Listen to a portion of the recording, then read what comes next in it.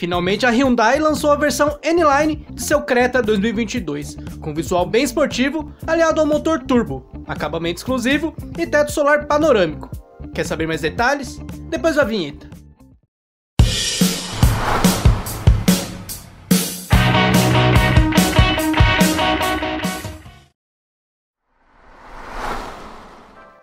Olá, eu sou o Sérgio. Seja bem-vindo ao arquivo do carro. Aperte os cintos e curta a viagem. E a Hyundai colocou no mercado nesse junho de 2022 a versão esportiva de seu SUV Creta, chamada de N-Line. O carro vem para complementar a linha do modelo, que foi totalmente renovado em 2021 e é um dos protagonistas de vendas entre os SUVs. Mexer na linha de um carro que vende tão bem, Sérgio? Pois é, meus caros. Apesar disso, ele sofre com uma concorrência cada vez mais acirrada e armada, que recentemente ganhou o Jeep Renegade, líder do mercado, com novo visual e motorização. E logo também deve encarar um T-Cross renovado, com design e equipamentos mais próximos ao do modelo vendido na Europa. Assim, a Hyundai também já se movimentou para estar preparada para o fogo dessa guerra, e a nova configuração esportiva faz parte dessa estratégia, se não de alcançar o alto do pódio, ao menos manter o Creta na vice-liderança entre os subs compactos. Essa nova versão também inaugura no país a grife esportiva da marca, que lá fora já tem vários integrantes, com acabamentos e design exclusivos, assim como a Toyota tem sua linha GRS e a Chevrolet tem sua RS. Aliás, a marca americana logo colocará nas concessionárias seu tracker em traje informal.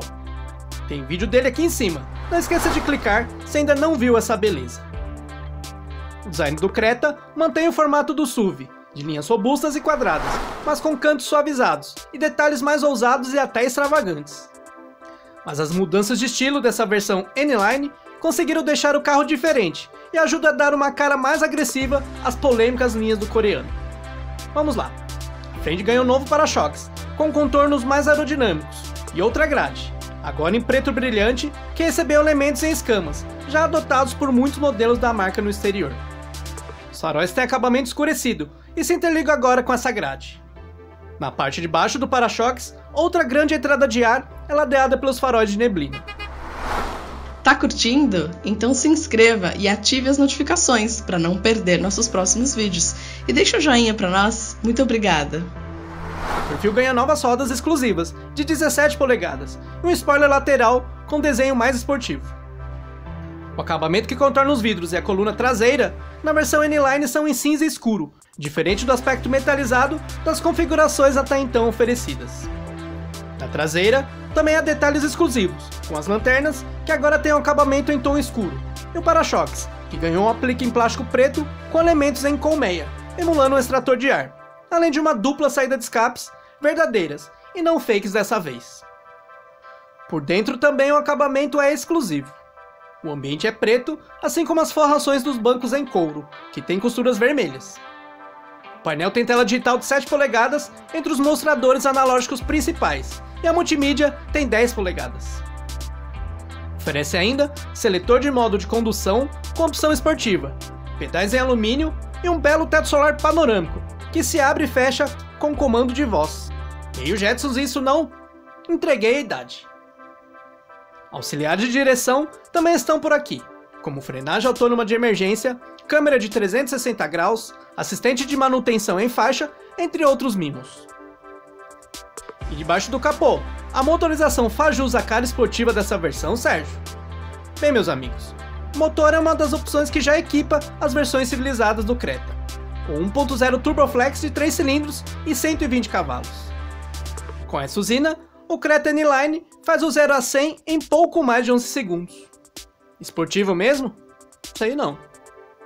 A marca coreana afirma que apesar dessa motorização convencional, fez ajustes na suspensão e direção para tornar a condução mais agressiva.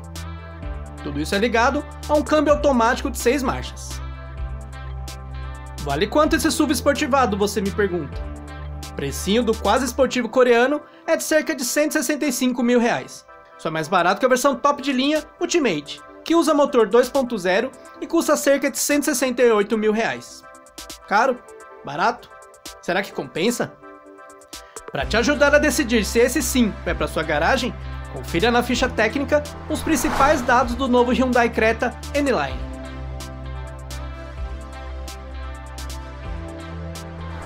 Os coreanos mexeram no design do Creta, que muitos torcem o nariz. Será que melhorou? O que você achou dessa versão esportiva?